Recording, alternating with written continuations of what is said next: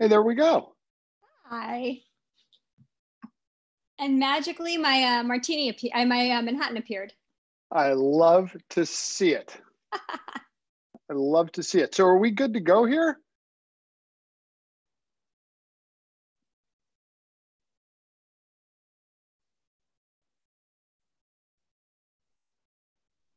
Okay, I'm going to start. I'm going to introduce ourselves. I'm going to I'm going to welcome everyone. I'm going to do it right now.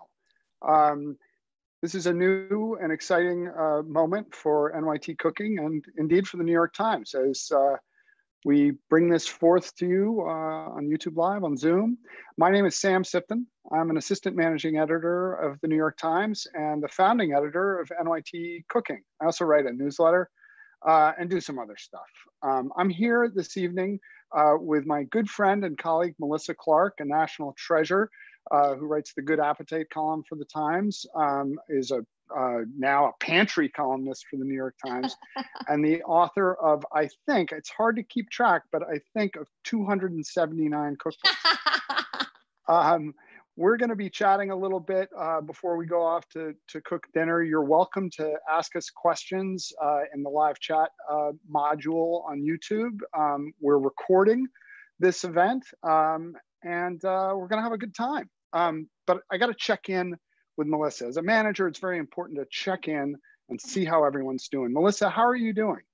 Right now, I'm doing very well. I'm here. I get to see you. I haven't seen you in a long time. I have a Manhattan. Oh, I um, have a Manhattan as well. But my glass is so much classier, Sam. What's up with that? well, the truth of the matter is, you're classier than I am in every way. um, mine may be bigger though. That that probably is true. Um, are uh, you at home? I am at home. Uh, yes, that is where I have been and will be. I, we're I'm we're at, in our Brooklyn brownstone. We're hanging, you know, staying, hunkering down, as they say. Um, we have stuff coming up in pots in my decks. I have some mint, and it's just lovely to see spring unfold out the window. And, you know, we're, we're okay. I feel very lucky. We are okay. It's the three of us. It's my husband and daughter and myself. Great. And what's for supper tonight? Oh, okay. So um, I went to the farmer's market and I got clams. I got those little butter clams. Do you know? Ah, those are great. Do, do, you know about those? I've never yeah, had. I like them. They're they're small. Yeah, they're yeah, small. they're good for pasta. That's what I'm gonna do. I'm gonna do pasta with clam sauce with those little butter clams. So uh, that is the plan. What about you, Sam? What are you gonna do after this?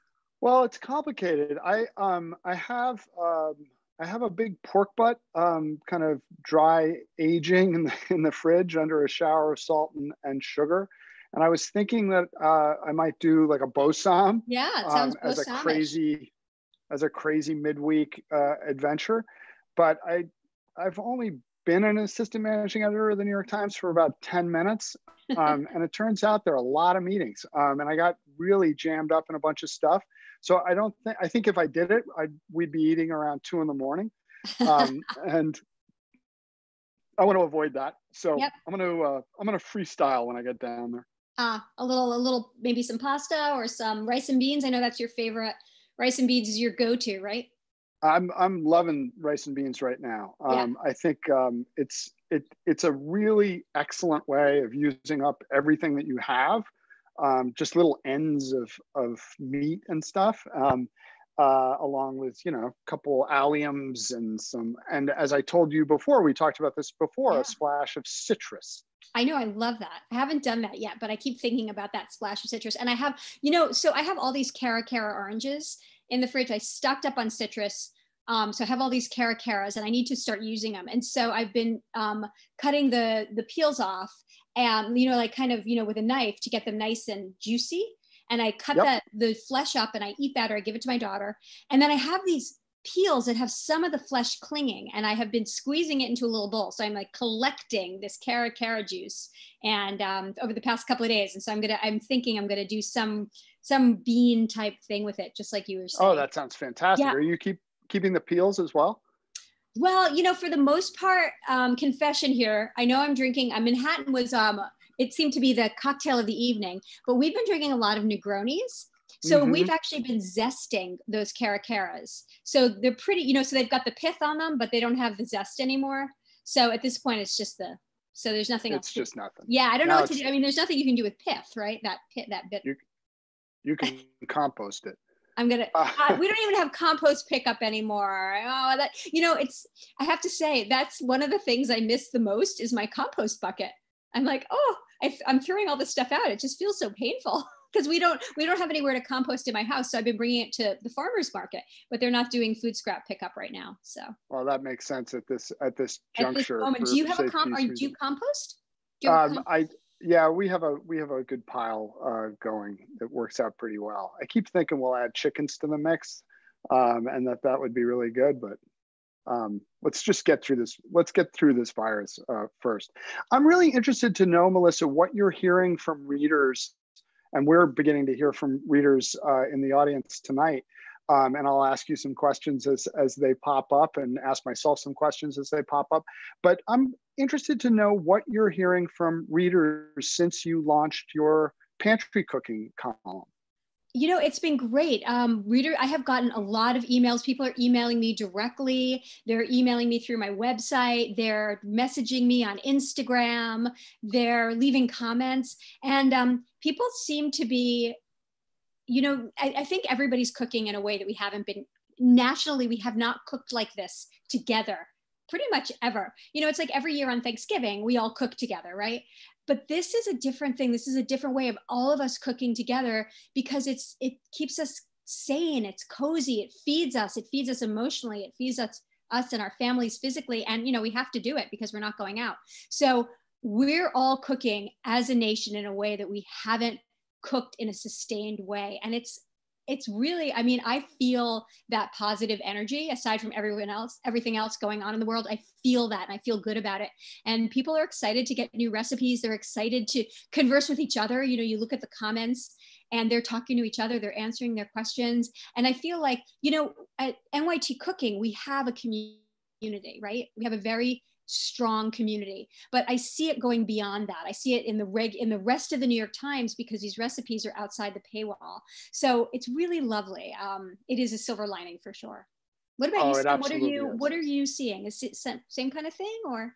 Well, it's interesting. I've taken um, a very different approach to the newsletter that I write. Um, usually it's, you know, few jokes, couple recipes, couple links to some rock and roll songs, and, and we move out. But I feel a powerful need to communicate almost intimately with uh, the the readers and to and to offer them some sense that what we're going through, we are in fact going through together, yeah uh, and that cooking does provide a way to bring a little bit of joy and beauty and style into um, what is otherwise a really difficult uh, situation. So I find myself almost um, in a fireside chat. Um, it's big dad energy, you know, Yes. as opposed to uh, cheerleader uh, energy.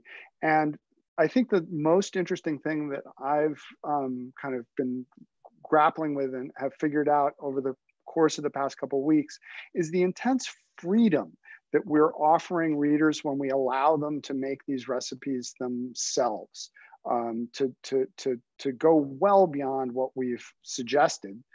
Um, our recipes are, you know, bulletproof in terms of, of testing, but by no means does that mean that you can't change them um, according to what you have on, on hand. And so I, I thought you'd love this, Melissa. Last night, I wanted to do it. I, I've never made, confession, I've never made Alison's Romans the stew. oh i Hashtag. haven't either oh my gosh and okay I'm, I, and it's on my list how was it it was great i'm sure Well, it, I don't think it was the stew. I didn't have any turmeric. I had Jamaican curry powder. Um, I only had a can of chickpeas instead of two. I only had one uh, can of coconut milk instead of two. I did have a half pound of really excellent ground beef that I got um, from a farmer. I'm very on brand to add beef to that dish. Anyway, it was fantastic. I put like a metric ton of kale in there at the end, and it it it was an absolutely delicious representation of an internet famous stew that only shared some of the preparation and some of the ingredients with the original and it was great and so being able to talk with readers about that um, has been one of the great uh, privileges, I think, of the last couple weeks. Hey, we've got a. I'm, I'm just going to throw questions as they Great. pop in and look interesting to me. This is a question from a woman named Lucy, and Lucy, like you, has noted um, that spring has sprung. And I'm guessing that uh, Lucy lives in a place that is not um, like Prospect Heights, where perhaps out in the woods you might be able to find some ramps. She's got some ramps and needs some advice on how to use them. Oh, ramps, you're so lucky. That's wonderful. I keep waiting for ramps to appear at the farmer's market, but not yet. Um, okay, so, you know, treat ramps, I always say the easiest way to, to think about ramps, they're just, they're like scallions with a different flavor. You can use them in any way that you wanted, that you would want to use a scallion. Um, so you just take off the roots and the outer layer, just like you would a scallion. But the good thing about ramps is the greens. So you have the white bulb and then you have the greens on the top, right? The white bulb is like a scallion white. You can slice it thin, you can saute it, you can steam it, you could pickle it. But the greens are like oniony flavored spinach and you can saute them and or you can add them to any kind of dish.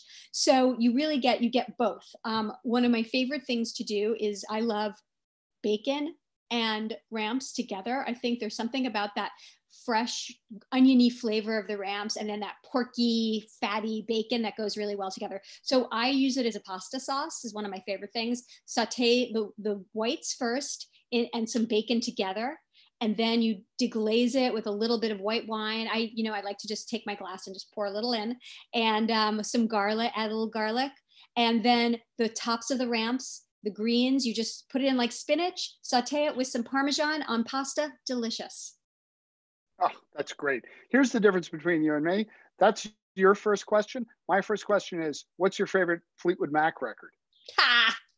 Well, because it's you write about culture too. It's different. I mean, yeah. nobody, you know, I mean, yeah, nobody's going to ask me my musical questions, which is a good thing because, you know, you don't want to hear the answers. But you're a font of good knowledge about literature. I love talking books with you. Well, I love to read. So, you know, I um I, I found it very comforting right now. I'm reading a book about World War II, which just make puts a lot of this in perspective for me. I feel like, you know, we're not being bombed and we have enough food. As a nation, we are not short of that. So it, it makes me feel a lot better. I'm reading um Anthony Powell, um, A Dance to the Music of Time, and there oh, is great. it's a bunch of different volumes, and I'm on volume three, which is, you know, 500 pages about World War II. So yeah, you like operas in your books as well. You like I like long really long things. I like yeah. long books and long operas because that way it's like once I'm once I it takes me a while to walk through that door. Do you know what I mean? And if I'm gonna do something, I want to stay in it. I don't want to like and then just like have to leave. So that's great. What are you reading? So I gotta, what are you reading right uh, now? Um, I'm reading questions, and we've got some awesome ones. We'll come oh, okay. back to books in a in okay. a second. I've got a nice one here for uh, using this uh, the sourdough starter that you discard when you're making room in your in your um, sourdough uh, pot yeah. um, for for more. And there's a great recipe for this on nytcooking.com. Um, I make um, pancake batter or waffle batter out of it um, and make it um, kind of let it go overnight before adding um, egg and, and, and butter and a little baking powder.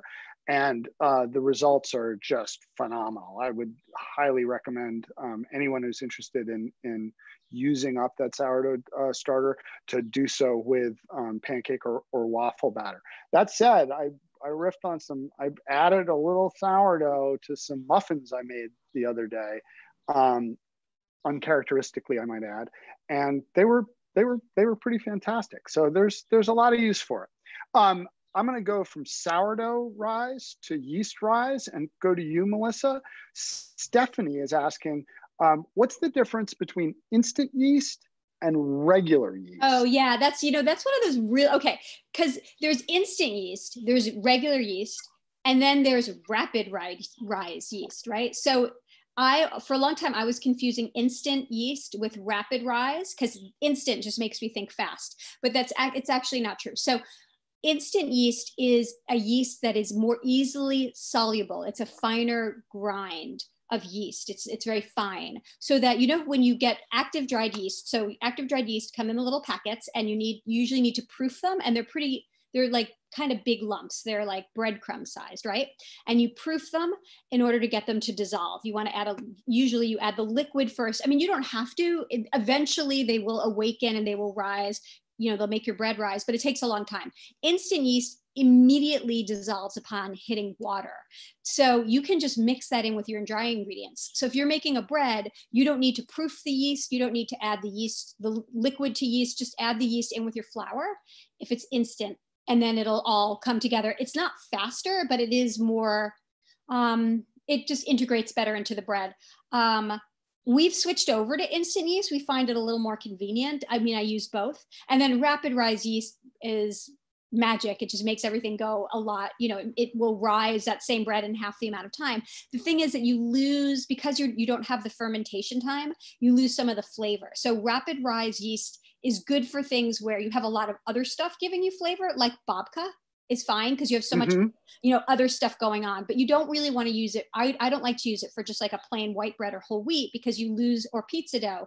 because you lose that flavor of fermentation is that yeah clear? the fermentations yeah that the fermentation's so so important yeah um, we've got a question uh, that goes to both of us i'll start because i've seen the the question and let you go second and it's about what um, our most memorable cooking or baking fiascos might be. Um, and I'll, I'll, I'll go first, as I say.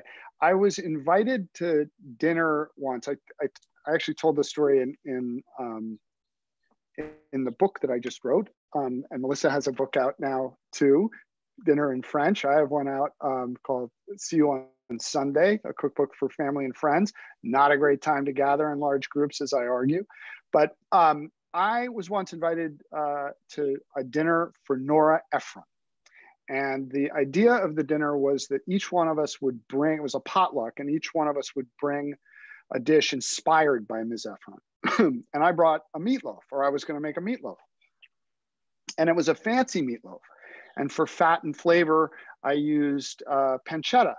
And I purchased the pancetta from Fairway Market. And uh, I wanted it because I was jamming and going fast. I wanted it sliced thin from the deli counter which I received. And I went home and I chopped it all up and I, because I wanted it really thin to lard through and melt into uh, the meatloaf. Um, and it was a it just I know this meatloaf. I know it's an excellent meatloaf. I've made it a million times, uh, and I made it this time. And what I didn't realize was that the guy, the deli slicer guy, did not remove the plastic sheath from the pancetta and sliced it so thinly that it was indetectable to me as I was preparing it. But then it kind of um, seized up in the heat of the oven, and my meatloaf emerged looking furry.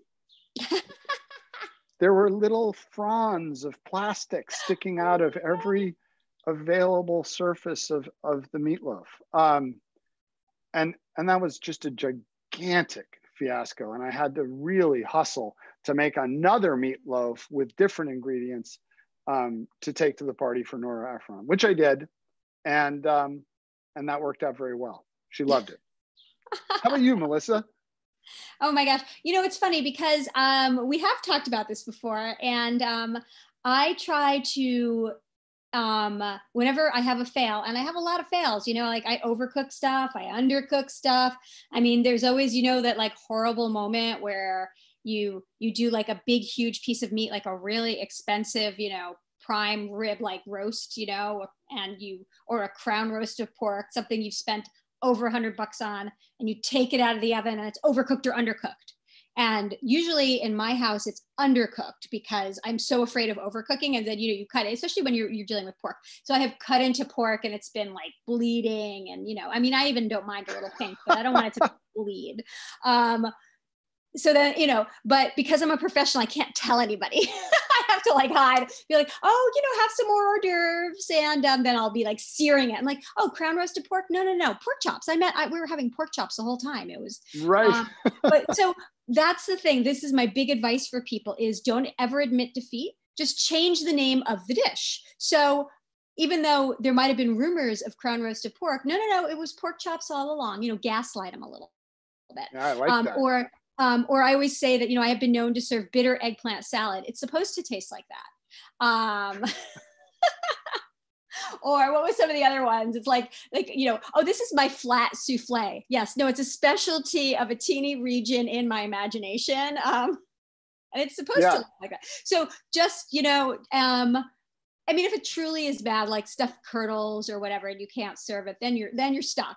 But if it tastes good enough and you can doctor it up, I mean, often overcooked meat can be fixed with a sauce. You know, um, yeah, totally. undercooked meat, obviously, you put it back on the grill. If your eggplant salad is a little bitter, a little salt, a little olive oil, and some lemon juice will work wonders. So there's usually a way to like make something um, something work and you know i mean although the other day i baked i baked a pumpkin bread i was playing with this pumpkin bread recipe and it just the center was goo it was just goo so i cut out you know i cut out the edges like a donut i threw right. out the center and we ate the edges and they were really good That's life. pumpkin bread edges that's life with melissa clark that's, folks yeah. it's always delicious but you i'm gonna just do the best i can center. here That's great. So, listen, you're in New York City, and um, even uh, as New York City has emerged as as this um, terrifying center of the outbreak in New York State, which is uh, in, in, really bad shape compared to a lot of the rest of the the country, even still, um, you're able to get to the market and the markets have been doing an incredible job of uh, feeding the citizens of, of, New York through throughout this crisis. And you know, you're able to get cara cara oranges, and you're able to get you've got a few herbs on the. But there are places in the country where people are um, not getting great um, food and vegetable. There's plenty of food. Don't get me wrong, but the notion of a fresh salad is terrifying to them or they they haven't got the greens they're running out of vegetables. Um, they're in they they haven't adopted the sam sifton technique of eating rice and beans all the time and loving it. Um, what suggestions do you have for people who are craving a salad but who but who can't really deliver on a salad. Yeah, you know, this is true. Um, I feel very lucky. I have been able to get pretty much, I mean, it's like I can't get everything I want, but I'm, I'm doing fine, you know, and I know that that's not true of everyone out there. Um, I see the comments, people are saying, oh, I can't get eggs, I can't get flour, I can't get salad. Um, but for salad, there's some easy fixes because uh, anything green can be made into a salad. We just don't think of it. You know, we're so used to having our our boxes of you know washed baby greens and spinach that we're not like using, we're not being creative, but I love to do um, crunchy, hard keeping vegetables. Like I call them keeping vegetables because they keep for a long time, like radishes, celery. Like, how old is that thing of celery in your fridge? It might even be a month old and it's fine. Um, carrots, you know, fennel. These are vegetables that just hang out in the vegetable drawer. They they do fine for a month. So if you can get those, get those, and then th- slice them really thin. If you have a Benriner or a mandolin, you get these nice shavings, but you can use a knife and just get thin, thin slices. And then it's like when you toss them with olive oil and lemon juice in a bowl, they, I swear to God, they're like lettuce leaves almost. They're like fluffy and they're light and they're crunchy and they're juicy and they are perfect. And we have been eating a lot. We eat a lot of celery salad these days, a lot of cucumber, radish salad. Oh, this is a really good one. Sometimes I take cucumber and radishes because I always have those on hand because I love them. And then I mix them with yogurt, just like nice. a lot more sour cream and salt and cumin and just eat that. And it's like a big bowl of that for lunch is so satisfying. And then it's just creamy and but it's fresh and juicy. One vegetable you didn't mention that's been um, central to what I've been doing these last couple weeks has been cabbage. Ooh, cabbage. Um, yes, perfect and, and I find that treating it just as you suggest to get it, you know, kind of super, super thin and fluffy, and then dressing it with a little lime juice and, and salt yeah. is a kind of revelation. It's like uh, we had some the other night, and I thought this is the best salad I've ever made. And it's just cabbage, lime juice, and salt. Oh yes, I'm with I mean, you. Cabbage is I love I love cabbage, but unfortunately, I'm the only person in my house who loves cabbage. So this is yeah so it's and being very we're all very close together so i have not been cabbaging it up. I but when when i'm eating by myself i actually have this thing. One of the dishes you know like my guilty pleasures that i'm eating by myself is ca- i eat a big huge i take cabbage i melt it in a pan with butter chicken stock parmesan chili peppers and tons of olive oil. Butter and olive oil is key. And i just eat this huge bowl of it and it makes wow. me so happy.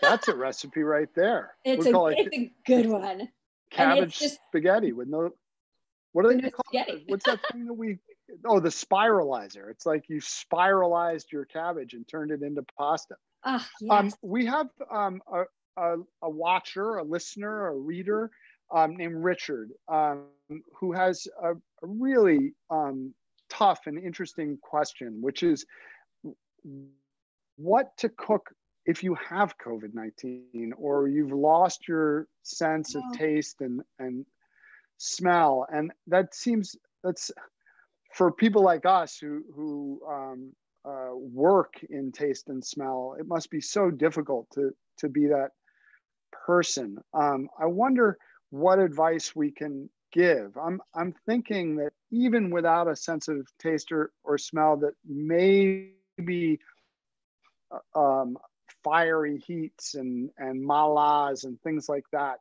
might help cut through. Um, Have you ever I, had I can that? just Sam, think of like ever... chicken soup and congee and. Have you ever lost your sense of smell? Has that ever happened to you when you've gotten just a bad cold? I've I've I've gotten bad colds where I I can't smell and and I don't I haven't talked to anyone who's suffering from COVID nineteen about this issue. Um, but even with a bad cold, I do find that if I eat pretty fiery, spicy food, it gets uh, the nose running, and and I can and I can taste or smell a, a, a little bit.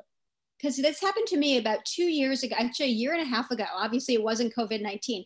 It did never happen to me before. I completely and utterly lost my sense of smell and taste nothing got through. No spicy chilies, no garlic, nothing got through. And it lasted for nine days. And I didn't tell anybody at work about this because I was afraid. I was like, are they gonna fire me? I was doing recipe. I mean, obviously not, but I was like, I it was oh, the no. worst. Let me be clear.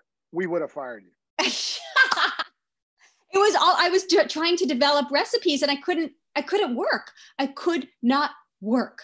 Um, and I would carry around a piece of ginger root in my pocket and I would try to smell and I would and I would eh, you know and I, I would and I just nothing. And I I, went, I remember going out to dinner with some friends and I just was like why am I here? It was awful. So I my heart goes out to people. But the thing that you know what I ate? All I wanted was all texture. It was because nothing went through it was just texture. So I just craved textures. So I would crave crunch or I would crave soft so mm-hmm. I ate a ton of um, crunchy toast, like crunchy toast with butter because I could feel the the butter, and I ate noodles, noodles with butter. Like I wanted slippery and I wanted softer, I wanted crunch. And that was it. And that's what I did for, and chicken soup, just because I was hoping that would help. And I did that for, and then eventually I, I, got my, I got, everything went back to normal.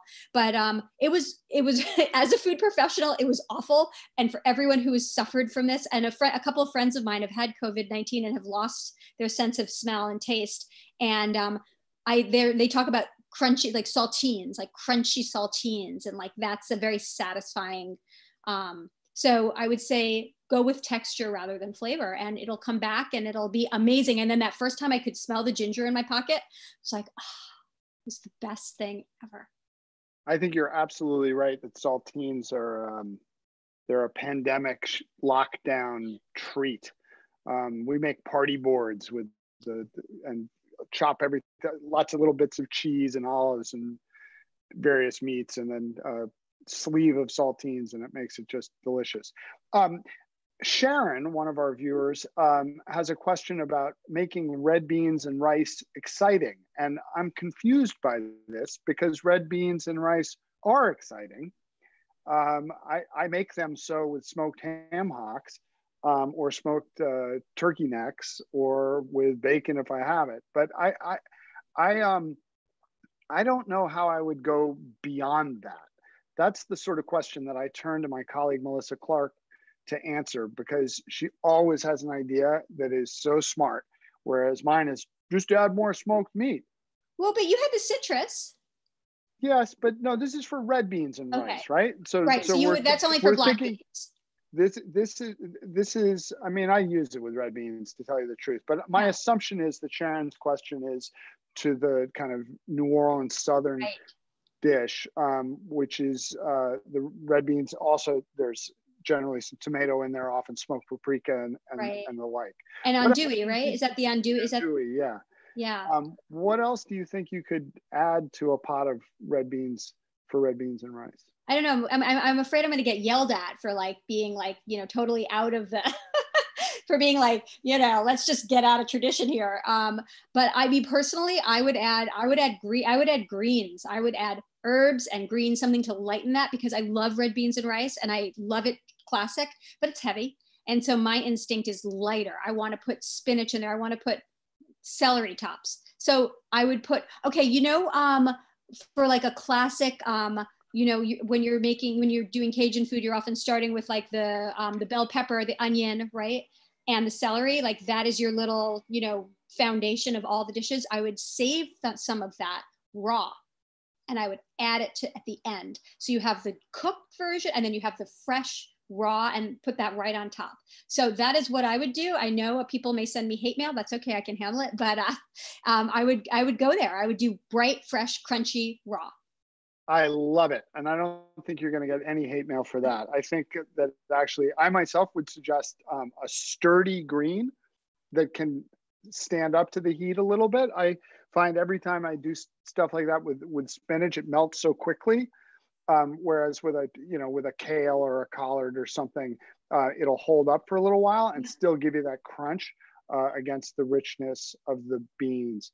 Um, we've got a question from a woman named Heather I should say a person named Heather, um, who wants to know about how much you're and I am ordering out and and how you're wrestling with um, wanting to support restaurants or wanting to get frickin' restaurant food um, and not wanting to endanger uh, either um, the delivery workers Mm. or yourself.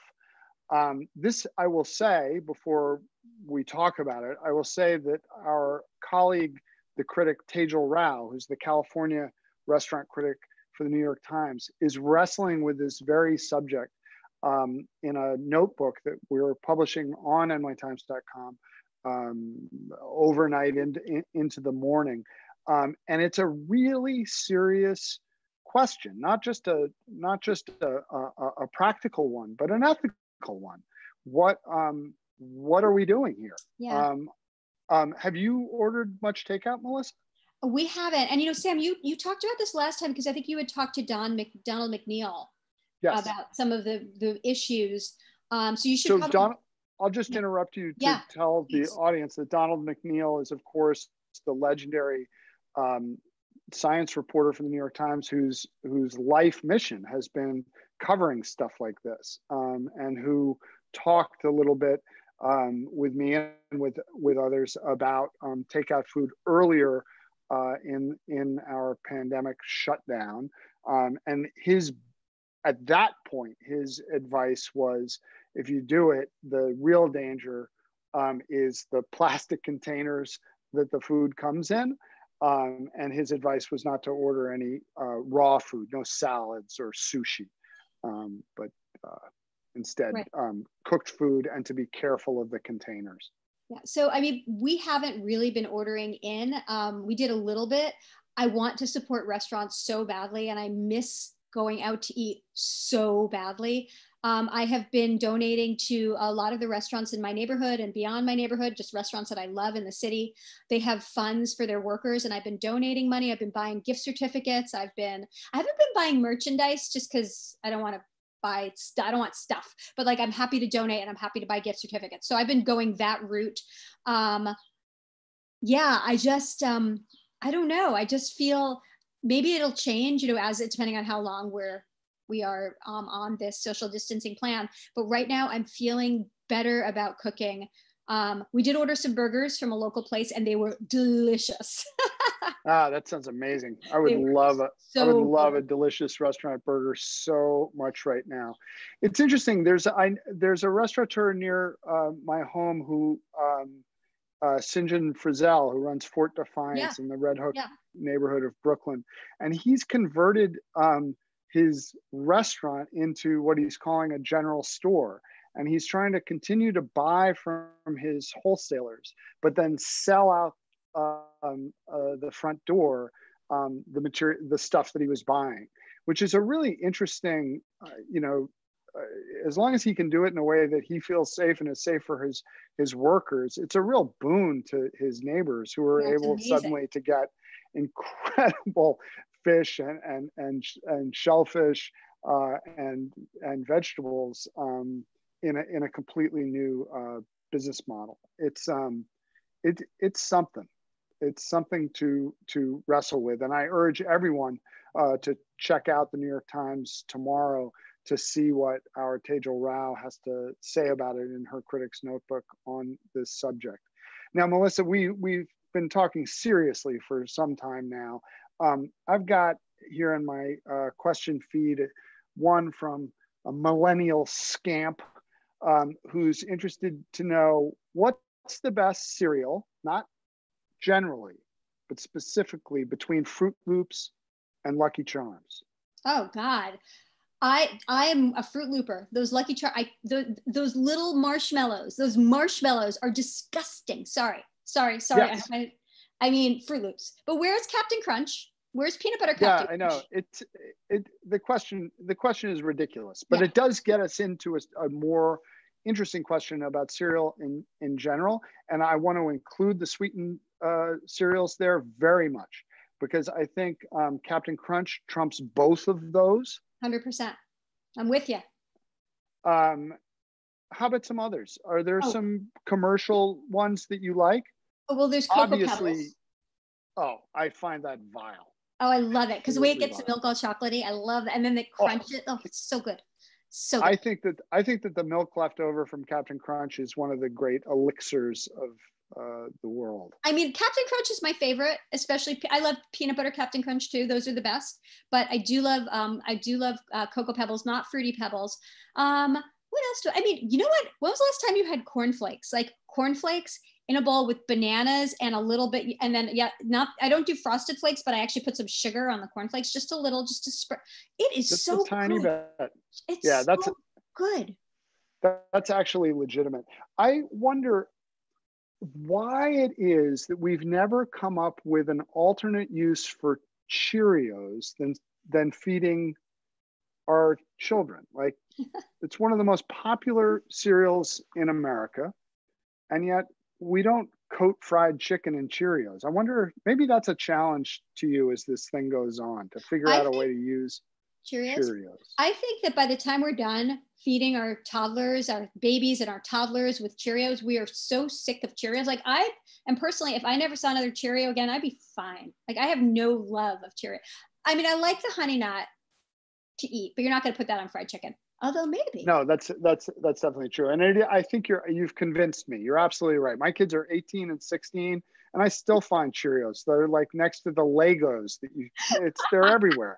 It's like the glitter of cereal. Oh my um, God! yes. Here's here's a more serious question that I'd like us to to to mess with. It it comes from a reader named or viewer named Dottie. Um, and Dottie wants to know if she should be disinfecting her fruit and vegetables oh. um, when she gets home from the store, and if so, how to do that. Okay, What's your, I, I can tell you what I do. You tell me what you do. I mean, I heard that you don't have to. I mean, I give them a wash. I certainly give them a wash, but I heard that you don't. It's like you don't need to be rubbing alcohol on them or Clorox on them. Um, I mean, I put them in the sink and I give them a good rinse. I wash my salad greens but that's all I do. I mean, that I heard was okay, but you know, tell me if I'm wrong, Sam. What do you do? And is it is there a better plan? I, am I'm, I'm with you 100. percent uh, We have an ongoing um, argument in the family about um, about raw greens um, and whether we think um, that you know a, a, a triple wash after the triple wash yeah. is uh, uh enough. Um, it probably is but I'm also mindful of the fact that adolescents um, believe themselves to be uh, incapable of being harmed.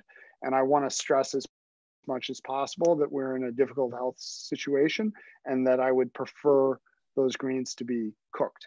Um, that's why I brought up the cabbage because once you have, and, and you brought up carrots earlier, um, any uh, carrots, any anytime that you can kind of get that exterior off and and reveal the delicious clean vegetable within, I feel a lot more um, mm. comfortable.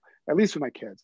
Yeah. Because I I just don't know that children or adolescents um, can really grok, uh, to use that '90s term, really understand um, how uh, how terrifying this this invisible um, enemy really really is. Um, yeah. But I, I, I too uh, believe that we don't need to be bleaching our our vegetables. Yeah, I mean, you know, I do think that um, the, it, it, the stuff I've heard is that it's I mean, it's not going to survive that long on. So another thing you can do is you could quarantine. We've we've been quarantining our greens, so because yeah. it doesn't last on a surface like a like um on a, a food surface more than 24 hours. It's like an outside. That's what I've heard. So if you take those greens and you put them in the fridge and you don't touch them for a couple of days, then let's hope we're that, okay. So that's what we've been doing. We because I we love salad. We eat a lot of raw salad, but I just put it in the fridge for a few days.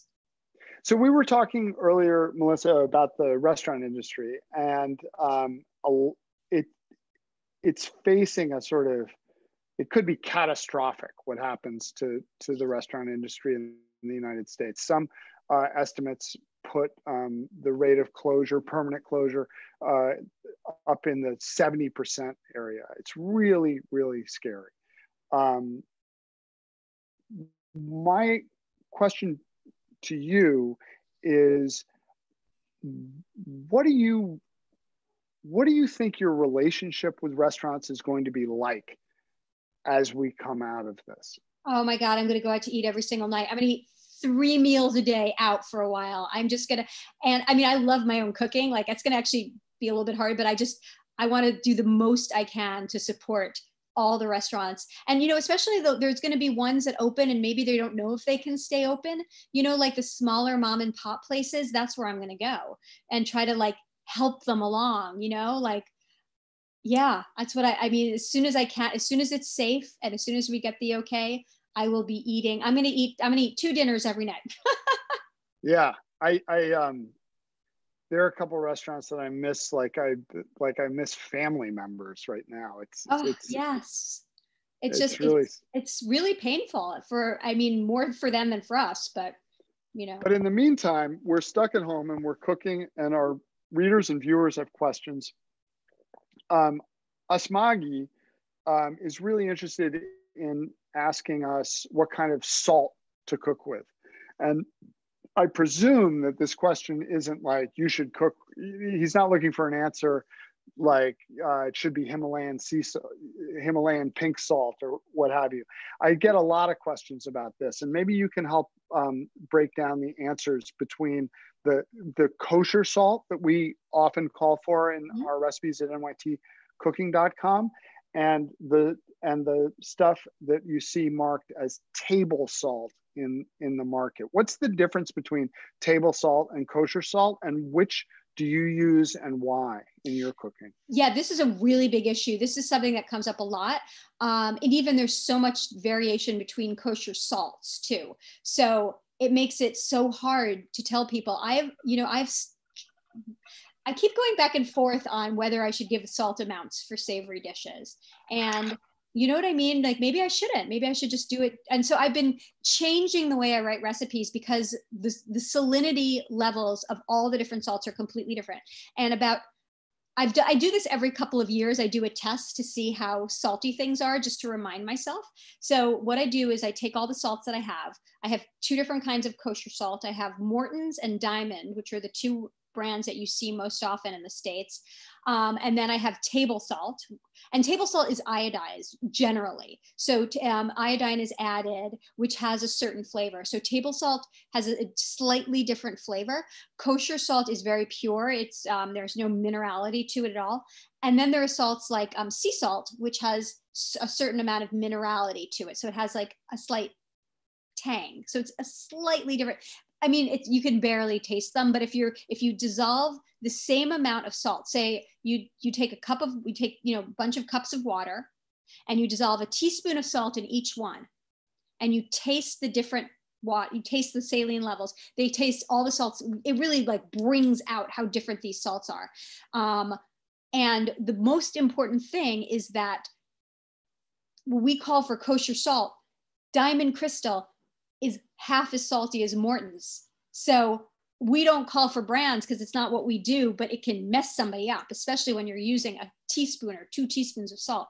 So this is a real issue. And I don't actually know how like how do we work around this so i've been trying to scale back on my salt and then have people to cue people to taste um, i use diamond crystal i find it just um, flakier. It's slightly flakier, so I find it easier.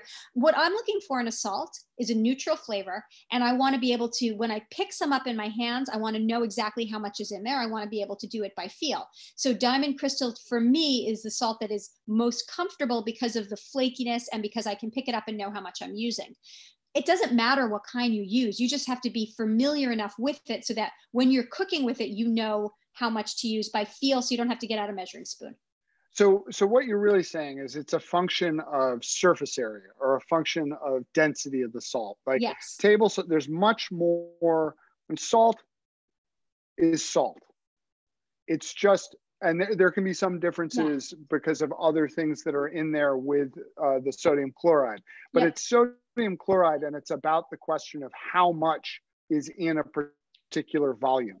So with table salt, there's a lot more sodium chloride in the tablespoon than there is with diamond crystal. And diamond crystal's volume in a tablespoon is different from that of Morton's, is different from that of Maldon sea salt exactly. or Himalayan pink salt. Great. So basically, if what we're saying is salt, salt, but know how much salt is in a pinch. Like how salty is a pinch? Exactly. Correct? Yeah, exactly. And um, just be consistent like always buy the same salt so that you can be confident when you're salting and don't listen to the recipe. You know better than the recipe. So if you think it's going to be too salty just hold back a little bit because your yeah. salt may be different. It's really important. Um here we're um coming up to the end here folks. We've had a wonderful cocktail hour with you um, at least I've enjoyed my cocktail, and Melissa seems to be enjoying hers. She's I know. I realized I, I, I, was talking so much, I wasn't drinking, so I have to, you know. um, I've got a question from Janice. Um, this is about recipes. People are so uh, interested, and for the right reasons, are so interested in in how we write these recipes. Uh, it's a question about um, when a recipe says to simmer something or to boil something, but doesn't specifically call for uh, covering the pot or pan. Does that mean to leave the cover off? Yes. Right. Full right? stop. There you go, Janice. Melissa Clark has spoken. Okay, here's it doesn't here's, say covered or partially covered. Don't cover it. right. Yeah, you want follow the directions. um, here's a question for you. What's the most surprising thing that you can tell our viewers tonight that you can freeze and save for later? Like, can you freeze eggs? Yes. Yes, you can oh, freeze eggs. I'm i know surprised. people. It, well, I mean, think about it. You know, you if you bake, you've probably free, you've probably frozen either egg whites or egg yolks. You know what I mean? Like you you you bake something and you've got the extra whites, you got the extra yolks. So guess what? You can freeze them together too. They're fine. Take them out of the shell because otherwise they'll crack. So just crack your, you know, crack the eggs, put them in a container, and throw them in the freezer. And it's just, but eggs last a really long time in the fridge. They really do. They I wouldn't really be freezing eggs. But I, you, you I would freeze eggs as a just to show that I could do it, but I can't imagine that I would need to. They last for they last for forever and ever. Is there anything you recently wrote a story for um, NYT Cooking um, about how you can freeze almost anything. Is is there anything you can't freeze? Potatoes. Have you ever frozen a stew with potatoes in it and then you defrost it in the stew and the potatoes are all like slimy? Potatoes don't do it. Yeah, they're not good. So no, don't don't freeze your potatoes. Um, cut certain um, dairy products will separate, but you can usually rehomogenize them, get them soft again. So you can freeze heavy cream, milk, and half and half which I think is great for people to know because you know how you always like have to buy a big, huge thing of half and half. And sometimes you just want a little bit and then you have this, what are you going to do? Right. Throw it in the freezer. If it separates, put it in the blender and it'll come back together. Oh, no. nice. And bring it and bring it back. Yes. Yeah. Will it blend? Yes, it will. Yes, it will. Um, we're about five minutes out from the end of our, our programming. I just want to um, attend to some logistics before asking you a, a final question or two there, Melissa. I want to thank everybody who has uh, dialed into this uh, meeting for joining us for the happy hour.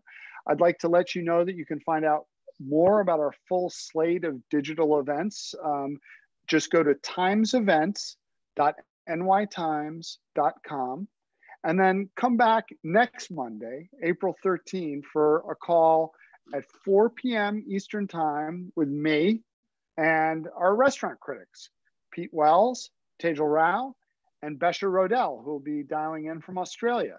We're going to be discussing the health of the restaurant industry or the ill health of the restaurant industry. And we look forward to speaking with you again. I'll give you a sign off when we're done here, but I got to finish things up with Melissa Clark and our cocktail here. Melissa, we talked about what you're um, going to do for uh, dinner this evening. I'm curious about what your breakfast game is. What are you going to do for breakfast tomorrow? Well, okay, so I'm really lucky. My husband is one of those sourdough bakers. He makes sour. We have a sourdough going. We always have bread. I am super lucky, and so our breakfast. I mean, um, I'm not a huge breakfast person, but when eventually I I kind of eat more like 10, 11. But um, my whole we all have big thick pieces of toast tons of butter and jam. And then usually we do jammy eggs or we'll do fried eggs, you know, something like that. Um, I love to do, sometimes I'll do the big, the toast and I'll put either cottage cheese or ricotta cheese on top of it. And then I'll put fruit on that and put honey on it. But it's all, it's, it's toast time. Breakfast is toast. What do you do for breakfast? Wow. Well, I have to say that since i am not a big breakfast guy generally. I try and get to the paper quite early, and I'm uh, enamored of either a bacon, egg, and cheese at the di- deli across the street from the newspaper, or a donut or something, and I just get through the the morning. But now that we're sheltered in place, one of my kids has become an uh, avocado toast master and I live for the delivery of this amazing concoction in the morning of homemade bread, um, uh, avocado mashed with lime juice and, and, and salt, um, just beautifully cooked by my kid uh, um, egg over easy, maybe a little bit of bean sprouts on top, although that's off brand for me. um, I just, I, it's just great. A couple splashes of hot sauce and, mm. and, it's, and it's fantastic. I can't wait um, to to eat that. Uh, that sounds amazing. Morning. It's it's the one time of the day when I get served the food. Oh, the so rest nice. of the time I'm making other people um, food. Speaking of which, Melissa, as I said, I don't have time to make a big bo ssam tonight. I'm gonna cook it, I guess, into the night and, and make something tomorrow with it. Yeah. Um, don't you think that'll work? Yeah, totally. Yeah, and then tomorrow you'll be so happy tomorrow you will say, oh, thank you, yesterday me. Yeah. I'll just rip it up. We'll have a kind of version exactly. of pulled pork or, or something along those uh, lines.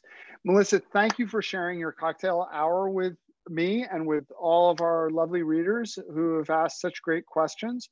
And uh, I hope everyone can stay safe and happy and um, filled with promise for tomorrow and coming days. We're here at the New York Times to help you.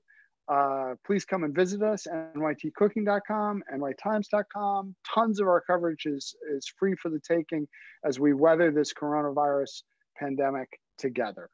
Thanks very much for joining us and have a safe and pleasant evening. Thank you.